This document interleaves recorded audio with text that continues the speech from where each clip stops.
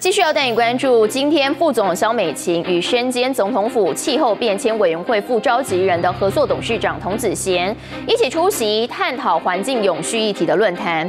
而在萧美琴入场之前，有反核人士在门口喊话童子贤辩论。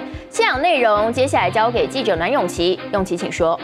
今天副总统肖美琴出席二零二四论坛，探讨环境永续以及能源议题。那么和硕董事长童子贤呢，也到现场要来参加讲座。不过稍早在维安现场呢，出现了一场小插曲，有名抗议人士手举标牌，表示自己的标语牌呢不能被带进现场。那么可能是反核的人士，带你来看一段稍早的画面。我我放在这袋子里面，我进去会怎么样？就会干扰我们活。动啊？怎么会干扰你们？干扰有一层的流程。没有啊，没有啊，我又不是现场拿出来。好在这名抗议人士在现场维安人员的安抚下，已经被请到场地旁边。那么副总统肖美琴也顺利在维安人员的陪同下进入到会场，并且上台致辞。以上是我们掌握到最新情况，时间镜头交还给棚内主播。立刻下载静新闻 App，一手掌握新闻时事，尽善尽美，尽好新闻。